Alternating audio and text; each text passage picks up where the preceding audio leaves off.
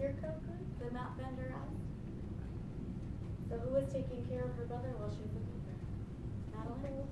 Um, this guy. The guy, the vendor? Was anybody else taking care of him? Tegan? All the other people. All the other people in the village. Yes, exclaimed Yemi as she scooped up her brother. Thank you so much for taking care of him, Yemi said to the knot vendor. Oh, he chuckled, I was not the only one. He pointed to where Kokou had come from. Yemi thanked him again and headed off in that direction. She said thank you again and again and again and again. Why did she say thank you? Because they took care of Kokou. We've been gone a long time, Kokou, Yemi said. Mama must be worried. But she was not. Mama knew better. As my mama told me, and her mama told her, I will tell you. You weren't alone today, Yemi. We don't raise our children by ourselves. It takes a village to raise a child. So what lesson did Yemi learn? Tegan? That you shouldn't watch. You shouldn't watch uh, your little brother by yourself. You shouldn't watch your little brother by yourself. Or sometimes it doesn't just take one person. Sometimes it doesn't just take one person. Who else helped her out? Shelton? Um, the other villagers. The other villagers, huh?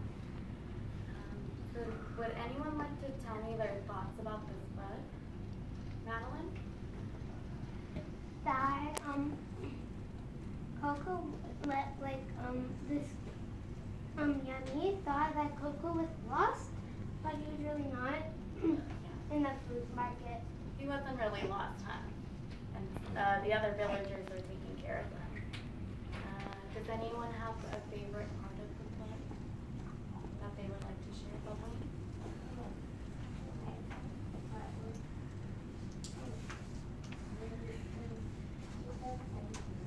When she said thank you, that was nice, huh, Shelton?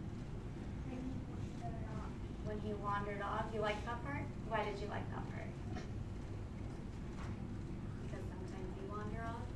Is that the smart choice to always make? So what do you think the message of this story is? Mark?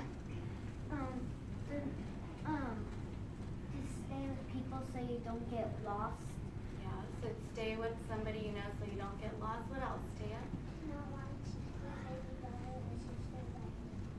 Yeah, so do you think it was nice of the villagers to help? So do you think that's a good idea that maybe we should all work together? I think that's what the message of the story is, that we should all be kind to each other.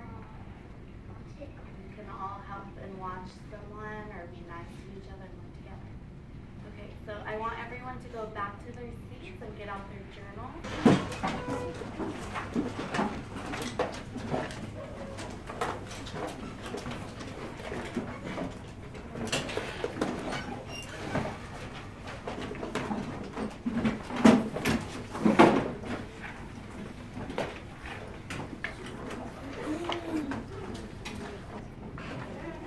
So open up your journal and I want you to write about your thoughts of this story and what you think the message was.